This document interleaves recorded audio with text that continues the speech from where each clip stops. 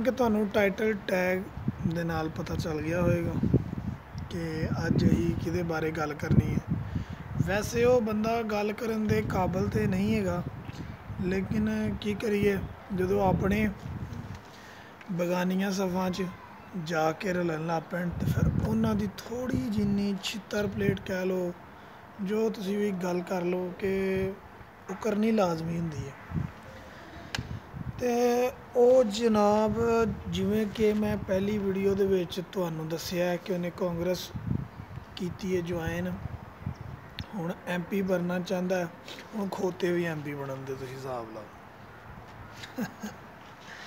ਤੇ ਬਾਕੀ ਸਿੱਪੀ ਗਿੱਲ ਨੂੰ ਮਰਜਾਣੇ ਫਿਲਮ ਦੇ ਪ੍ਰੀਮੀਅਰ ਤੇ ਪੁੱਛਿਆ ਗਿਆ ਸੀ ਕਿ ਬਈ ਉਹਦੇ ਬਾਰੇ ਜਾਂ ਜਿਹੜੇ ਹੁਣ ਰਾਜਨੀਤੀ 'ਚ ਜਾ ਰਹੇ ਉਹਨਾਂ ਬਾਰੇ ਤੁਹਾਡਾ ਕੀ ਖਿਆਲ ਹੈ? ਉਹਨੇ ਕਿ ਕੌਣ ਹੈ ਮੈਂ ਤਾਂ ਜਾਣਦਾ ਹੀ ਨਹੀਂ।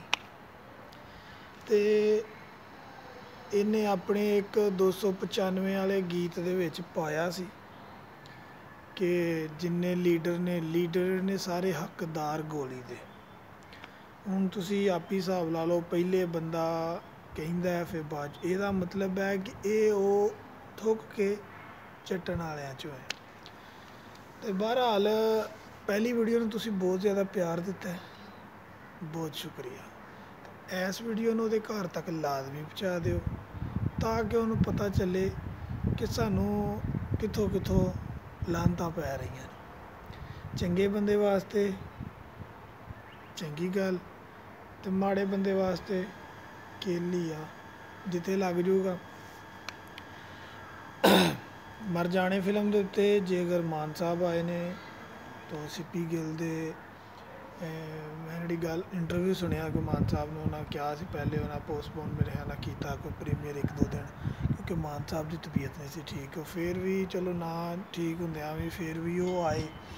ਉਹਨੇ ਕਿਹਾ ਕਿ ਭਾਈ ਮੈਂ, ਮਾਨ ਸਾਹਿਬ ਨੇ ਵੀ ਕਿਹਾ ਕਿ ਅਸੀਂ ਭਰਾ ਕਰਕੇ ਆਏ ਆ ਤੇ ਲੇਕਿਨ ਉਹ ਜਿਹੜਾ ਹੈ ਨਾ ਬੰਦਾ, ਯਾਰ ਉਹਦੇ ਬਾਰੇ ਕੀ ਗੱਲ ਕਰਨੀ ਹੈ? ਐਵੇਂ ਦਫਾ ਹੀ ਕਰੋ। ਇਸ ਤੋਂ ਅਗਲੀ ਵੀਡੀਓ 'ਚ ਕਰਾਂਗੇ ਆਪਾਂ। ਮੇਰਾ ਦਿਲ ਹੈ ਇੱਕ ਦਿਨ ਰੀਜਾਂ ਲਾ ਕੇ ਚਤਰੋਲ ਕਰੀਏ ਜੀ। ਉਹਦੇ ਤੇ ਆਪਣੇ ਯਾਰਾਂ ਨੇ ਉਹਨੂੰ ਛੱਡ ਦਿੱਤਾ। ਤੇ ਇਹਦੇ ਬਾਰੇ ਡਿਟੇਲ 'ਚ ਗੱਲ ਕਰਾਂਗੇ ਨੈਕਸਟ ਵੀਡੀਓ 'ਚ। ਫਿਲਹਾਲ ਵਾਸਤੇ ਤੁਸੀਂ ਇਹਨੂੰ ਸ਼ੇਅਰ ਕਰੋ। ਚੈਨਲ ਨੂੰ ਸਬਸਕ੍ਰਾਈਬ ਕਰੋ ਲਾਈਕ ਕਰੋ। ਕਿਉਂਕਿ ਫਿਲਹਾਲ ਨਾਲ ਲਾਈਟ ਦਾ ਥੋੜਾ ਜਿਹਾ